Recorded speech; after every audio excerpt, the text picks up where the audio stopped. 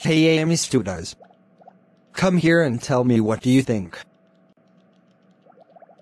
Wow. I look pretty. Thank you so much Joseph the Plotagon fan. You're welcome. High five.